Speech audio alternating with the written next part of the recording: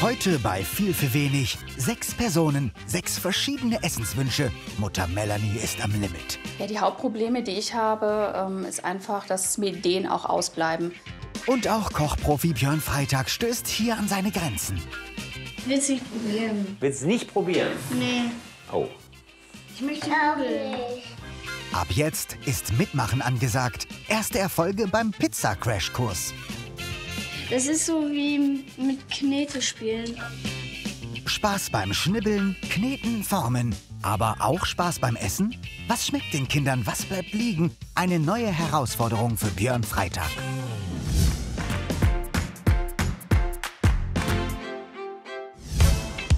Heute ist Spitzenkoch Björn Freitag zu Besuch im nordöstlichen Ruhrgebiet in Hamm. Im 20. Jahrhundert ein Zentrum für Bergbau und Stahlindustrie. Heute befinden sich auf dem ehemaligen Zechengelände Heinrich Robert verschiedene Gewerbe- und Event-Locations.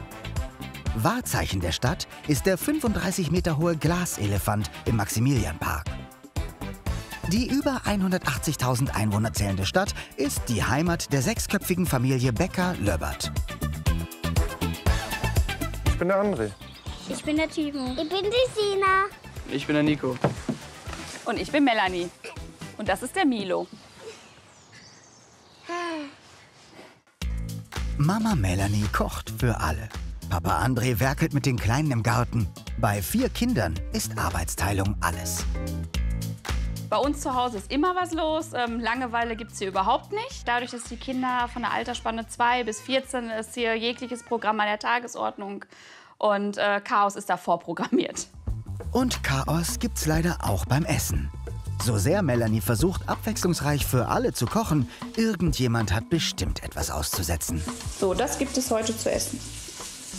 Natürlich kann ich jetzt heute wieder nicht bei allen punkten. Ähm, das ist klar. Mein Mann kann ich mit dem äh, Gericht beglücken, der ist damit zufrieden. Aber was mache ich dann nachher für den Nico zu essen? Wie so oft gibt es dann doch lieber Döner vom Imbiss als das Essen von Mutter Melanie. Selbst einfachste Gerichte werden so zur großen Herausforderung. Nudeln kochen ist ja in, in der Allgemeinheit so, auch das ist schnelles Essen, geht schnell und man ist damit fertig. Bei mir sieht das leider anders aus. Das heißt, der eine möchte gerne Fusilli-Nudeln, der andere Spaghetti, der eine gerne mit Bolognese, dann aber auch nur mit dem Maggi-Fix-Tütchen.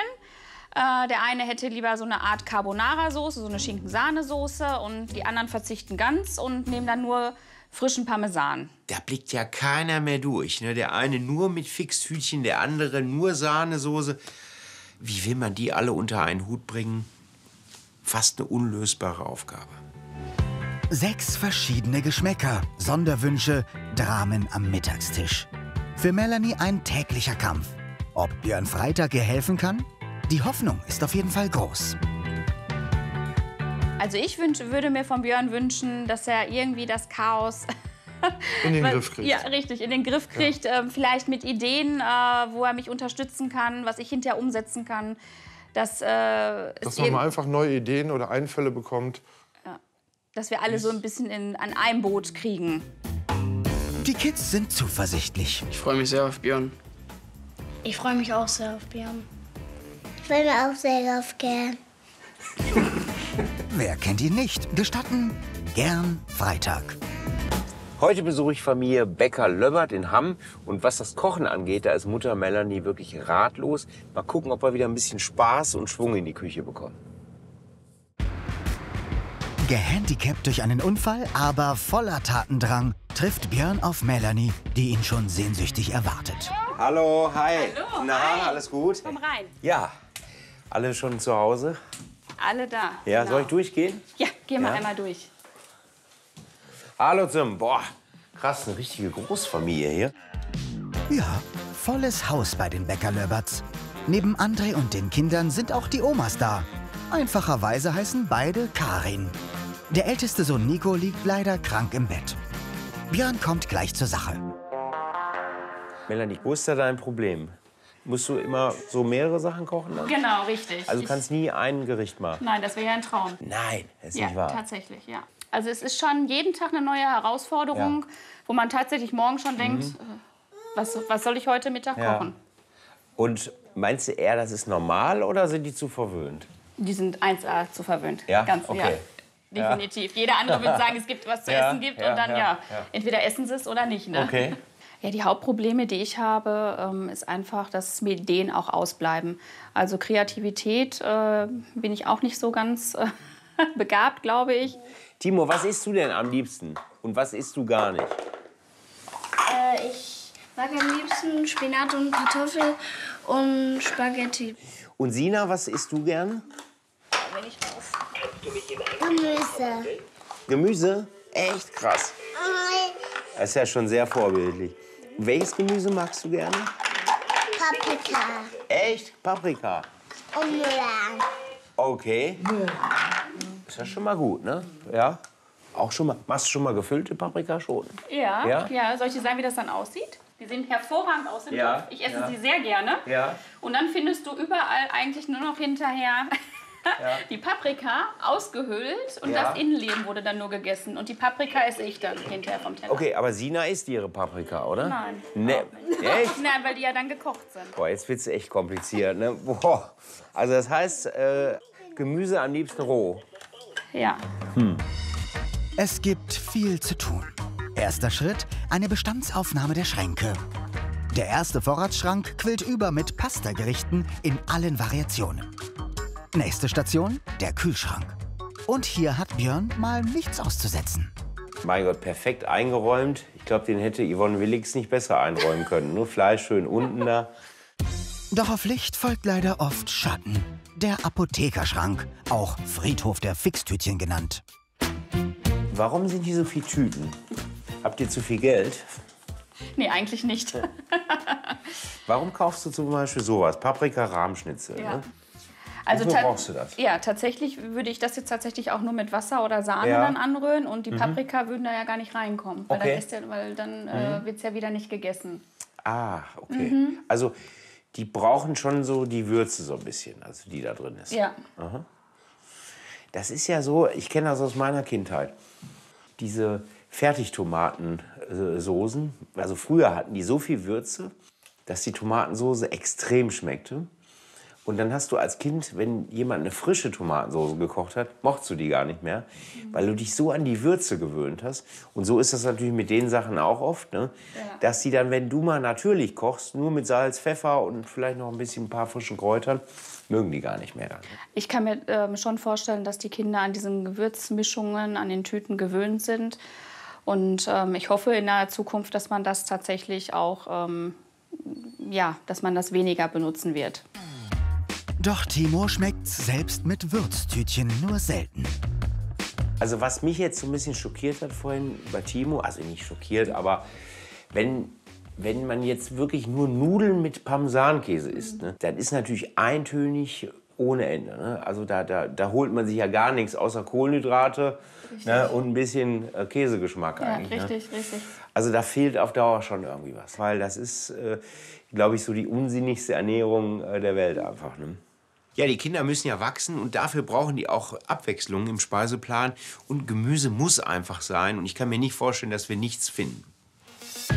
Der letzte Weg führt Björn in die Vorratskammer samt Tiefkühlschrank. Hier sehe ich Pizza, Baguette. Esst ihr überhaupt Pizza? Ja, Ja? ja, aber Ja, auch, tiefgekühlt oder selbst gemacht? auch da alle unterschiedlich. Ach, okay. Was heißt unterschiedlich? Also, wenn ihr frische Pizza macht, gibt es dann äh, jenige hier, die die nicht mögen? Also tatsächlich, wenn ich frischen Teig Ja, mache, ja. ähm, kriege ich fast alle mit ins Boot. Wenig? Ja, beim Timo ist das so ein Problem. Also der isst dann tatsächlich die Tiefkühlpizza lieber. Fertigprodukte statt selbstgemacht. Das möchte Björn ändern. Die Herausforderung, ein Gericht zaubern, das den hohen Ansprüchen aller Familienmitglieder genügt. Also Ziel ist es ja heute, das Gemüse jetzt äh, so zu garen, dass es eben nicht so verkocht ist. Weil die mögen ja lieber das Gemüse knackig. Ja, richtig. Deshalb machen wir so eine Art Pfannengemüse. Okay. Die Kartoffeln, die reiben wir nachher gekocht. Und dann habe ich vor, wie so eine Art Tortilla zu machen. Das hört sich in der Theorie gut an. Ob es sich auch in der Praxis bewährt und den kretischen Gaumen der Kinder standhält, wird sich später zeigen. Während die Zwiebeln mit etwas Muskatnuss anschwitzen, mischt Björn Eier, saure Sahne und Milch. Das geschnittene Gemüse zu den Zwiebeln geben und kurz anbraten. Ah, das riecht immer schön, ne? So Ja, das gebratenes duftet Gemüse. schon. Ja, richtig. Ich wollte es gerade auch schon gesagt haben. Doch das Essen riecht nicht nur gut und schmeckt hoffentlich später auch, sondern hat noch weitere Vorteile. Also das ist jetzt gleich ein Gericht, da können wir auch gut ein bisschen Resteverwertung machen. Ne? Wenn ihr noch ein bisschen Käse im Kühlschrank habt, ihr fahrt ja bald in Urlaub, bisschen Kochschinken, sowas. Ne? Alles, was ihr jetzt loswerden wollt, können wir gleich da reinmachen. Okay. Gut, ne? Das, ist, das hört sich gut an. Reste, die sonst in den Müll wandern, werden nun zu einem leckeren Gericht verarbeitet. So geht viel für wenig. Und einen Trick für mäkelige Esser hat Björn auch noch im Petto. Ich wollte das jetzt wirklich so machen, dass die Kinder gar nicht zuerst das Gemüse sehen, sondern dass die erstmal nur lecker Kartoffeln, schön diese Eiercreme. Ne? Und äh, ich will nicht sagen, dass sie dann ein böses Erwachen haben. Aber die nächste Schicht ist dann eher gesund. Okay. Und schnell gemacht ist es auch. Es ist ja so, guck mal, wir haben jetzt gut, die Kartoffeln, die brauchen länger, aber für den Rest, da haben wir jetzt eine Viertelstunde hier geschnibbelt. ne? Das geht wirklich Das war jetzt fast sehr, sehr fix. Die letzten Handgriffe, dann ist die Tortilla à la Björn Freitag auch schon fertig. Aber jetzt keinen Fehler machen. Also hier an der Stelle sieht man noch zu viel Gemüse. Das muss ich noch ein bisschen abdecken. So. Gerade noch gemerkt. Jetzt noch den restlichen Käse drüber und fertig. Ja, und das schieben wir jetzt gleich in den Ofen. Ich habe jetzt, äh, also ich würde jetzt so Umluftgrillen machen, weil die Sachen brauchen ja gar nicht so lange. Die sind ja alle schon gar. Ne? Ja, Im richtig. Prinzip müssen wir jetzt nur erreichen, dass diese Eicreme stockt. Viertelstunde, 20 Minuten, 180 Grad. Und dann wird's spannend.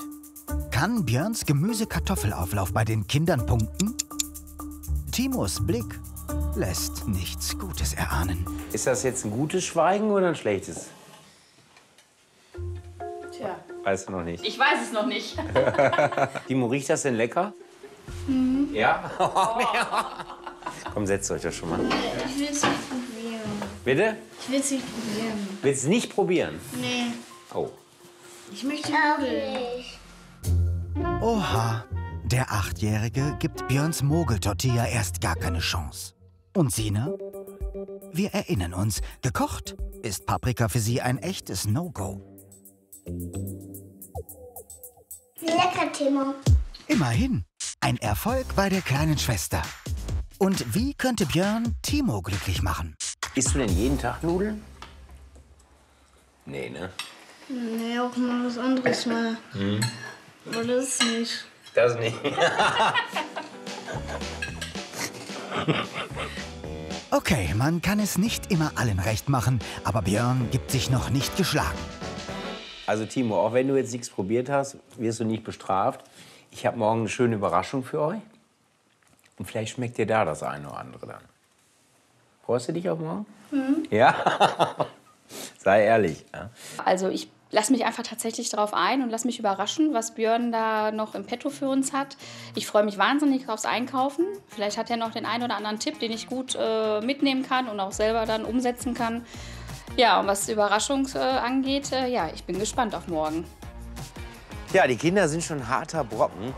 Aber ich habe schon einen Plan, wie ich alle unter einen Hut bringen kann. Vor allen Dingen morgen mit einem Gericht, was wirklich alle Kinder gerne mögen. Aber das ist dann die Überraschung. Björn Freitags große Herausforderung. Mahlzeiten zaubern, die alle Familienmitglieder glücklich machen, vor allem die Kinder. Außerdem soll mehr Vielfalt auf den Speiseplan. Am nächsten Tag hat er Familie Becker-Lörbert in die Altstadt von Unna eingeladen. So, heute gehe ich mal mit der Familie auf den Markt und äh, da bin ich mal gespannt, was die Kinder so mögen an Gemüse, was die auch vor allen Dingen nicht mögen. Wichtig ist heute, was bekommen wir an regionalen Gemüse und wo kann man vielleicht auch mal ein Schnäppchen machen. Die Familie ist fast vollständig erschienen. Nur der älteste Sohn Nico liegt leider immer noch flach. Hallo. Alles gut bei euch? Ja. hallo.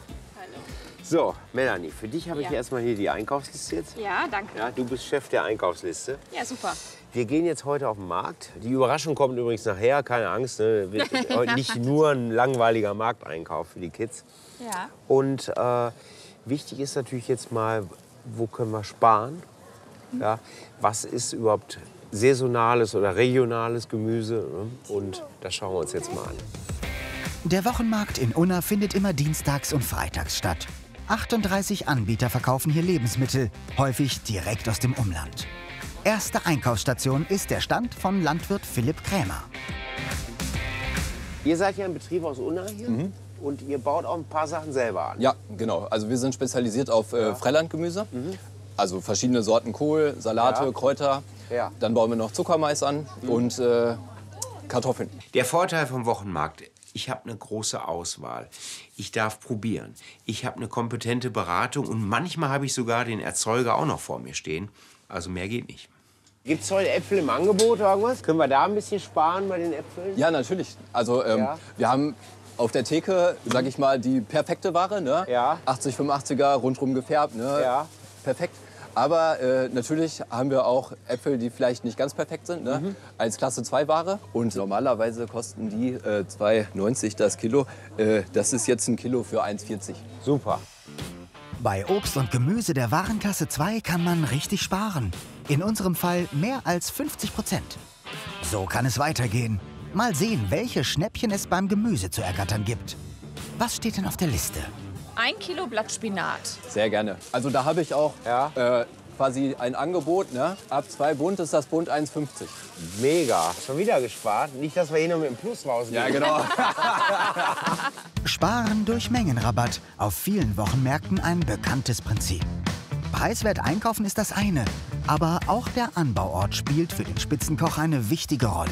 Also ich bin ja immer eher ein Freund davon, wenn ich die Wahl habe zwischen Spanien und Niederlande, würde ich immer eher Niederlande nehmen. Ja. Äh, weil Spanien wasserarmes Land. Von daher, die sind jetzt äh, kleiner, dann nehmen wir zwei Zwiebeln einfach von den äh, niederländischen. Aber da die größten. vielleicht. ja. Bei den Tomaten wird es spannend. Hier unterscheiden sich die Preise enorm zwischen den verschiedenen Sorten und Herkunftsländern. Da muss man ganz genau hinschauen. Das ist natürlich verwirrend. Hier sind Ja. die Preise in 100 Ja, Gramm das ist, angegeben. äh, bei denen ist das jetzt einmal. Ja. Ne? Sonst haben Ja. wir Kilogrammpreise. Ja. Die Honigtomaten äh, sind sehr teuer. Sind sehr teuer, ne? kosten aber immer so viel. Überleg mal, dann wird das Kilo 25 25 Euro, kosten. Ne? Ja. Die sind sehr gut, aber sage ich mal, was auch interessant ist, sind halt hier gerade diese äh, italienischen. Ja. Äh, das sind Mini-San Manzano-Tomaten. Die sollten eigentlich auch Sein. ziemlich gut sein. Ne? Ja. Und äh, preislich ein deutlicher Unterschied. ja, die nehmen wir auch. Also da nehmen wir ein halbes Kilo. Ein halbes Kilo Tomaten, vier Möhren, eine große Gurke, ein Bund Rucola und natürlich eine Paprika für Sina. Obst, Salat, Gemüse und auch Kräuter haben den Weg in die Körbe gefunden. Viele frische und gesunde Zutaten für die Familie, vor allem die Kinder. Björn zieht schon einmal Bilanz. So, was denkt ihr denn, was das hier gekostet hat jetzt? Glaube ich fünf, äh, 35. 35? Was sagst du, Sina? Ich 45. 46? Okay. Bei Sina ist die Inflation schon richtig angekommen. Okay. Ja. Also ich würde so vermuten 15 bis 20 Ja. Euro. Da liege ich auch mit Ja, 18. sagt ihr alle so 15 bis 20? Ja, so ungefähr Ja. 17. Okay. Dann geht ihr schon mal, ihr sollt das jetzt nicht mitbekommen, Okay. weiter zur Metzgerei vorne und da treffen wir uns gleich wieder. Ja? Nehmt das schon mal mit, ich zahle das eben. Und was sagt die Familie? Also ich fand es jetzt sehr spannend ähm, zu sehen, dass man tatsächlich auch auf dem Markt ähm, Produkte aus der zweiten Wahl quasi kaufen kann. Bei den Äpfeln zum Beispiel, wo wir die Hälfte auch gespart haben. So, hast du schon addiert? Ja, ich habe es ausgerechnet. Wir Ja. sind bei äh, 26,95. Okay, also ein kleines bisschen teurer als die Familie so vermutet hat, also die Eltern. Ja, aber egal. So, bitteschön. Kassensturz. Regionales Obst, Gemüse und Kräuter schlagen mit 26,95 Euro zu Buche. Inklusive einiger Schnäppchen und Rabatte. Fehlt nur noch das Fleisch. Sowohl für die heutige Überraschung als auch für das große Kochen morgen. Wir würden gerne ein bisschen Rinderhackfleisch kaufen. Ja, habe ich da. Ja? Neben Hackfleisch kauft Björn noch Wurst für die zusätzliche Überraschung ein. Mit den 25,40 Euro für Fleisch aus der Region steigt die Rechnung auf rund 52 Euro. Zutaten für drei Gerichte, a sechs Personen. Aber wie versprochen wird heute nicht nur eingekauft. So, liebe Familie, hier stehen wir jetzt in Unna vor dem Meisterhaus. Hier gibt es wirklich eine der besten Pizzen im Ruhrgebiet. Und das Ganze ist Familie von meinem Freund Frank Buchholz, mit dem ich immer die WDR-Bootstour mache im Sommer. Ja? Und hier machen wir jetzt einen Pizza-Crashkurs. Ja? Super. Ja, und dann kommt. Björns Idee? Wenn Kinder lernen, ihr Essen selbst zuzubereiten, schmeckt's auch gleich viel besser. Aber ob dieser Plan auch aufgeht? Wird sich Timo auf eine frische Pizza einlassen oder schwört er weiterhin auf seine Tiefkühlpizza? Es wird spannend. Die traditionelle Pizza in Italien ist die Margherita. Mehr als Tomaten, Käse und Oregano kommen da gar nicht drauf. Doch für Timo und Sina macht Pizzabäcker Ahmed heute eine Ausnahme. Okay, was möchtest du da drauf haben? Ein bisschen Paprika. Bisschen Paprika. Und was wünscht sich Timo auf die Pizza? Etwa Nudeln? Salami. Salami? Eine Pizza mit Salami und Paprika, speziell für die Kids. Noch den Mozzarella obendrauf und ab damit in den knapp 380 Grad heißen Ofen. Innerhalb weniger Minuten ist die Pizza fertig. Oh, das sieht aber lecker aus, oder? Jetzt muss sie nur noch schmecken. Und wir wissen ja, wie kritisch unsere kleine Jury ist. Gut. Lecker. Aber die Aufgabe heute lautet ja nicht Pizza essen, sondern selber machen. Und für erste Kocherfahrungen eignet sich Pizza perfekt. Kneten, ausrollen und später nach eigenen Wünschen und Vorlieben belegen. Und Timo hat heute sichtlich Spaß am Kochen. Das ist so wie mit Knete spielen. Küchendirektor Jan unterstützt die Familie in ihrer Kreativität. Und wie eine traditionelle Pizzasauce gemacht wird, weiß Björn zu berichten. Ich habe mal gelernt in Italien bei der Pizza-WM, äh, eine gute Tomatensauce für Pizza ist eben keine Tomatensauce, die gekocht wurde, sondern Nee. man püriert einfach nur Dosentomaten mit ein bisschen Olivenöl, Salz und mehr nicht. Jetzt heißt es, erlaubt ist, was gefällt. Ganz getreu nach diesem Motto kreieren die Kinder ihre Pizza. Heute gibt es mehr fröhliche Gesichter als skeptische Blicke. Drehen wir den einmal. ja, schwupp. Guck mal, kriegst du eine weiße Nase. Alle machen mit und alle sind motiviert. Björns Idee geht voll auf. Sieh schon, wenn wir mehr Käse drauf machen, das ist dann die Diätvariante. Nach knapp 15 Minuten bei 250 Grad ist sie fertig. Und die Spannung steigt. Werden die kritischen Kinder die selbstgemachte Familienpizza auch mögen? Und, ist lecker? Sehr schön. Sehr gut. Ja? Lecker. Ja, und vielen Dank. Das war wirklich super spannend. Und ich glaube, wir sind alle äh, glücklich und satt und zufrieden. Ja. Und ich denke, das eine oder andere Mal wird auch bei euch eine Pizza zu Hause gemacht, oder Melanie? Ja, definitiv. Genau. Also, Ja, dann freut es mich, dass ihr als Gäste hier bei uns äh, wart und äh, hoffe, wir sehen uns wieder. Ansonsten Danke. Der kleine Backtag hat sich für alle gelohnt. Björn kann zufrieden sein. Ich fand das schon mal sehr erfolgreich heute. Und was die Kleinen angeht, sehe ich schon Licht am Ende des Tunnels. Also das könnte auch beim Kochen selber erfolgreich werden, dass sie nicht von vornherein alles ablehnen. Nächster Tag. Das große Kochen steht an. Die Familie ist in die viel für wenig Küche geladen und Melanie höchst gespannt, was sich der Spitzenkoch für sie ausgedacht hat. Ich erwarte heute vor dem Kochtag, dass es ein außergewöhnliches Erlebnis wird und äh, wie wir die Zutaten, die wir auf dem Markt gekauft haben, jetzt heute tatsächlich auch einsetzen. Und natürlich, ob alle es essen mögen. Nico ist wieder gesund und wünscht sich was. Ich würde jetzt sagen Hamburger. Darauf hätte ich jetzt schon Lust. Und Timos Wunsch ist wenig überraschend. Ich würde jetzt gerne Nudeln essen. Aha, und welche Soße? Parmesan. Da hätte es sich Björn auch einfach machen können. Hat er aber nicht, sondern sich gleich zwei ganz besondere Gerichte ausgedacht. Eine vielseitige Vorspeise und als Hauptspeise einen Klassiker, den eigentlich alle Kinder mögen. Das alles nach einer Art Baukastensystem. So kann sich jeder sein Gericht selbst zusammenbauen. Dabei bleibt es abwechslungsreich und gesund. Hallo. Hi, na, alles gut bei euch? Ja. Ja? Hallo, ach guck mal, den habe ich ja noch gar nicht kennengelernt. Du bist der? Nico. Nico. Ja. Du hast ja das Pizzamachen verpasst, ne? Da warst du krank. ja. Ja? Und ärgerst du dich ein bisschen jetzt? Ja. Ein bisschen schon, ja. Okay. Aber euch hat es Spaß gemacht. Ne? Ja, uns So? hat Spaß gehabt. Ja. Mit dem Spaß wollen wir natürlich heute weitermachen. Ich kann euch nur verraten, es wird lecker. Und wir machen äh, pikant und süße Sachen. Ja, wir wollen ja jetzt so ein bisschen so ein Baukastenprinzip machen. Das heißt, du machst zum Beispiel einen Grundteig dann und die Familie kann sich dann immer verschiedene Sachen als Toppings aussuchen. Zuerst werden Melanie und Nico in das Geheimnis der Crepe-Zubereitung eingeführt. Crepe, das sind ja im Prinzip dünne Pfannkuchen. Kann man viel mehr von essen, weil nach einem Pfannkuchen ist man oft satt.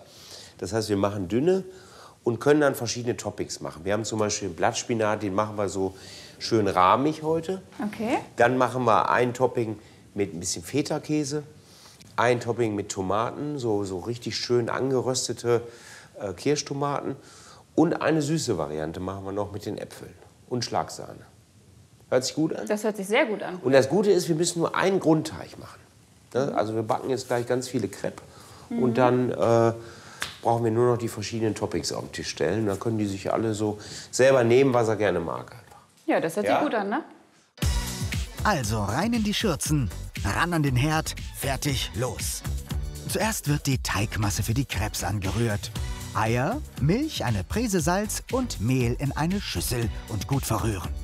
Nico hilft normalerweise nicht so oft in der Küche, heute ist er aber hochmotiviert. Nico, gibt es denn irgendwas, was du heute gerne lernen möchtest hier? Ja, wie ich halt alles schon äh, richtig schneiden kann, wie lange das braucht. Und halt mal einfach mal gucken, wie das so ist, Ja. mit einem richtigen Koch mal hier Ja. zu kochen. Habt ihr in der Schule auch schon mal so Hauswirtschaft gemacht oder so? Oder? Äh, ich war in der Grundschule in meiner Koch AG. Ach krass, okay. Da habe ich auch äh, geholfen. Ja. Äh, Hier, rühren, ne? Weil die Butter, die muss jetzt unter. ja, da habe ich auch äh, viel Ja. geholfen. Ja. Habe alles eigentlich ganz gut gemacht. Ja, beim Essen und so. ah, Das hat mir eigentlich nicht so geschmeckt, aber das Zubereiten, das hat mir Spaß gemacht. Okay, auch lustig. Ein Koch, der sein eigenes Essen nicht isst. Ne? Für die besondere Optik wird der Teig mit etwas rote Betesaft verfeinert. Davon verspricht sich Björn einen positiven Effekt bei den Kleinen. Der Profikoch bereitet schon die erste süße Füllung vor. Gebratene Äpfel. Guck mal, die sind so richtig schön jetzt karamellisiert, ne? Perfekt, oder? Und dann machen wir da noch, da bieten wir äh, die Äpfel an und ein bisschen äh, Schlagsahne dann dazu, ne? Die zweite Füllung wird pikant. Hauptbestandteil sind Tomaten, die angebraten und mit Salz und Pfeffer gewürzt werden. Das sind ja jetzt diese Kirschtomaten, beziehungsweise San Marzano. Die sind ja relativ fest, was dafür jetzt natürlich optimal ist. Mmh, lecker. Nikos Grundschulkochkurs liegt schon etwas zurück. Deshalb gibt's jetzt den Basiskochkurs von Björn. Ein Lieblingsthema des Spitzenkochs, Zwiebeln würfeln. So, guck mal, ich schneide hier erstmal so ein. So. Dann schneide ich die noch mal zweimal so quer. Da muss man natürlich echt immer ein bisschen auf die Finger achten jetzt, ne?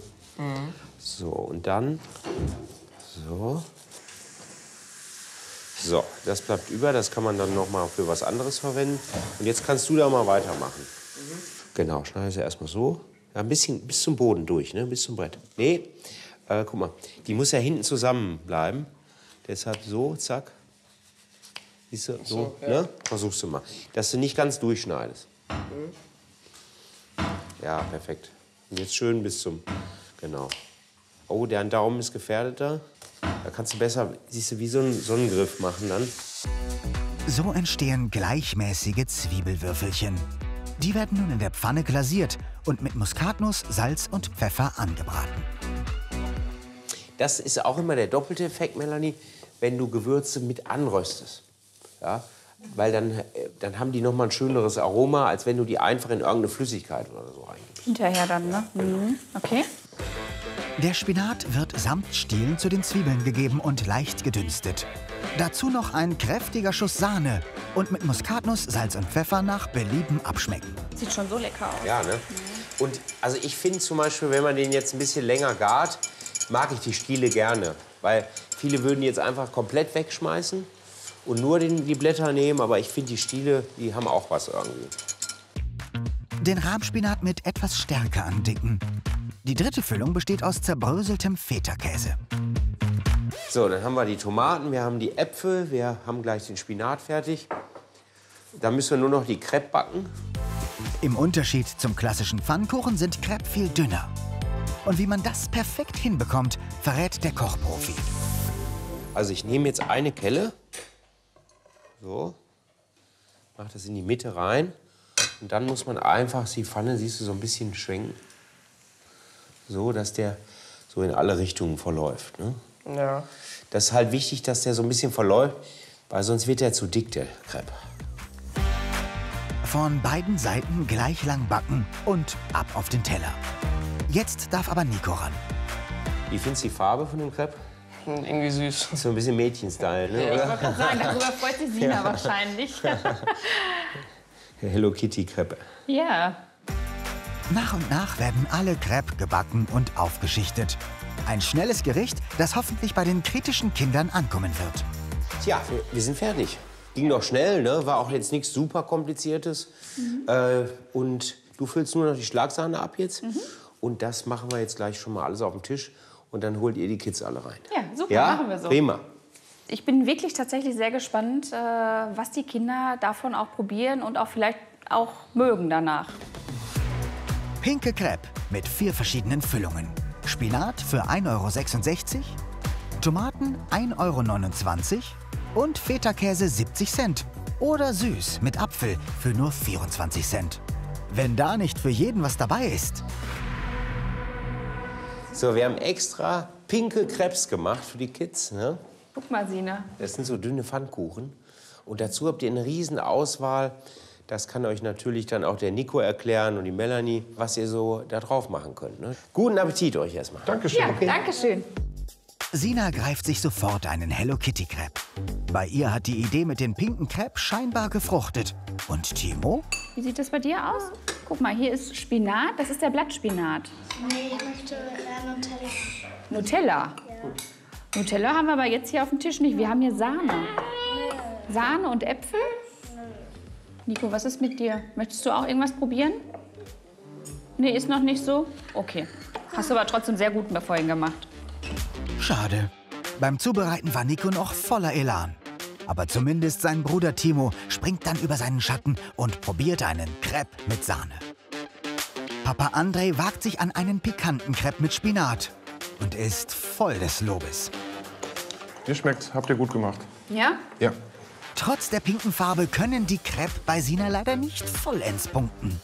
Sina, schmeckt dir das Crepe? Nein? Guck mal, der ist extra in Pink. Ich habe hier so ein einmal angebissen, aber ich mag es nicht. Okay.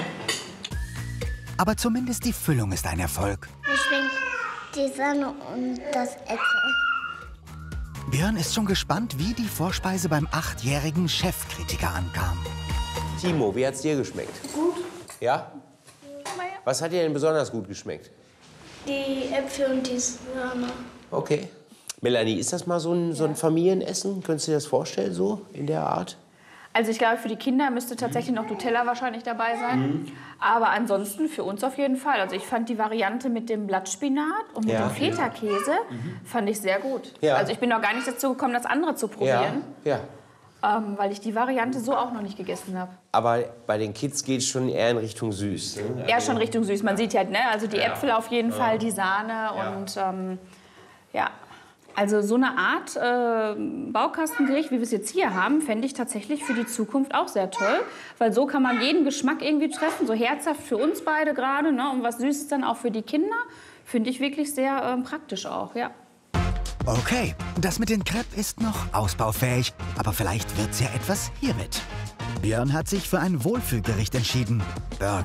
Auch hier wieder das Baukastensystem, bei dem sich jeder seinen Burger individuell belegen kann. Björns Plan? Selber machen statt meckern. Sina, guck mal hier. Was könnte es geben? Körnerbüschel. Körnerbrötchen. Fast, ja, da sind ein paar Körner dran. Was, was essen Kinder total gerne? Nudeln. Fast. Also siehst du hier irgendwo Nudeln? Nee. Ja, dann gibt's auch keine Nudeln, oder? Habt ihr schon mal was äh, gehört mit, von wegen Burger? Ja. Super, er freut sich schon mal. Ich Sehr, weiß, wie ein Burger geht. ja, äh, weißt du schon? Dann komme ich in einer halben Stunde wieder. Dann machst du die Burger hier eben. Ja. Ja? Okay, alles klar. Pass auf, wir machen heute leckere Burger zusammen. Äh, bauen das natürlich ähnlich wie vorhin mit den Crepe auf dem Tisch so auf, dass sich jeder was nehmen kann, was er gerne mag. Ne? Ja, das ist super, ja. Wir haben übrigens auch was ganz Lustiges, wer mal ein bisschen weniger Fleisch essen will. Für denjenigen haben wir da diesen Quietschkäse. Den? Habt ihr schon mal gehört, Quietschkäse? Nee. Der quietscht dann so, wenn du den isst. Das ist ein griechischer Käse, Halloumi heißt der. Sehr lecker. Mhm. Ja. Müssen wir mal probieren. Dann haben wir ja das gute Hackfleisch gekauft hier. Wir machen mit dem Kraut dort machen wir so einen Coleslaw, ne? also so einen schönen Weißkohlsalat mit Karotte drin, bisschen Schmand. Eine grüne Soße machen wir noch. Ein paar rote Zwiebeln. Normalerweise macht man die ja roh zum Burger, aber würde ich als Kind niemals essen. Von daher koche ich die noch so ein bisschen ein, die Zwiebeln. Damit könntet ihr auch schon mal anfangen, dass du vielleicht mit den Kids schon mal Möhren schälst Ja. und die Zwiebel schälst. Ja, super. Timo stürzt sich gleich auf die Möhren. Ob er wusste, dass die weniger Ärger machen als die bösen Zwiebeln? Das sind Augen? Ja, bitte. Meine Augen jucken. Tränen schon? Und die brennen. Die brennen schon? Ja. Ah, dann komm, dann geh mal einen Schritt zurück. Komm, ich mach die weiter, die Zwiebel. Gib mir her. Etwas kaltes Wasser und alles ist wieder gut bei Sina. Aber nun hat Björn mit Tränen zu kämpfen. Sina, ich habe die gleichen Probleme immer. Ich weine auch immer von jeder Zwiebel. Während Timo sich immer noch mit den Möhren abmüht, hat Björn für Sina eine weitaus angenehmere Aufgabe. Das Messer ist nicht so scharf, das kannst du auch nehmen. Und dann schneidest du hier vom Toastbrot, guck mal, schon mal so die Rinde ab. Ja? So, Das schaffst du. dass gar keine Rinde mehr drin ist. Sina läuft zur Höchstform auf und es fängt nun an, ihr Spaß zu machen. Aber ich habe schon eins gemacht. Super. Mensch, dann brauche ich ja bald in der Küche gar nichts mehr machen. Nein. In der Zwischenzeit hat Björn die Zwiebeln geschnitten und eingekocht. So, guck mal hier die Zwiebeln. Die kriegen durch den Essig jetzt schon so eine schöne pinke Farbe. Und die sind dann eben nicht mehr so scharf. Ne? Schmecken leicht süßlich, bisschen so süß-sauer. Ne? Sehr, sehr schön. Timo ist voll bei der Sache. Es folgt eine Spezialaufgabe für den Nachwuchskoch. So, Timo, hast du Kraft schon in den Händen? Schon Ja. richtig Power? Dann gehst du jetzt mal hin. Das war das Salz hier, glaube ich, ne? Ja. So, dann machst du jetzt mal hier Salz dran und ein bisschen Zucker. Habe ich die angemacht? Nee. So, ein bisschen Zucker und Essig. Und so, so feste du kannst, knetest du jetzt den Salat durch. Okay. Mit aller Kraft bearbeitet Timo den Weißkohl. Das sogenannte Anwirken macht nicht nur Spaß, sondern hat einen besonderen Zweck. Ja, guck mal, wie das jetzt knackt. Und durch dieses Aufbrechen von den Zellstoffen dort mariniert der Salat viel besser. Ne? Da kommt jetzt auch die Feuchtigkeit so ein bisschen raus aus dem Kohl. Timo hat sichtlich Freude an dem Gemansche. Aber für alles ist er noch nicht bereit. Willst du mal ein Stückchen von dem Käse probieren? Von dem kalten? da? Nee, warum nicht? Hast du Angst? Ha? Ich mag eigentlich nicht so Käse. Käse magst du gar nicht? Nee, nicht so. Doch, zu Nudeln magst du doch gerne Käse. Du isst doch mal Nudeln mit Käse, ne? Ja, den Käse mag ich. Ah, den Käse magst du, okay. Aber nicht so halt anderen. Das Probieren überlässt er seiner Schwester. Das ist jetzt, äh, Sina, das ist der Quietschekäse. Ja, dann. Ich hoffe, es quietscht. Lecker?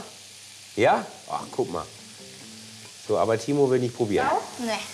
Timo ist wohl eher der Macher, noch kein Verkoster. Und Björn hat auch gleich die nächste Aufgabe für ihn. Die Burger Patties in Form bringen. Aber das sieht schon gut aus. Salzen tun wir das gleich in der Pfanne. Ja. Ich nehme das jetzt so weg. Du machst noch mehr davon? Und ich tue das jetzt direkt in die Pfanne rein. Hier ein bisschen Öl dazu. Timo hat seine Passion gefunden und Björn gleich einen Jobtipp für ihn. Hör mal, dein Sohn, der kann bald im Burgerrestaurant anfangen hier. Das läuft schon von alleine. Ach. Wahnsinn, oder? Ja, guck mal, super. Der letzte Burger ist für Sina reserviert. Auch sie formt mit Hingabe und Geschick den Burger Patty. Vielleicht gibt es bald einen neuen Burgerladen in Hamm.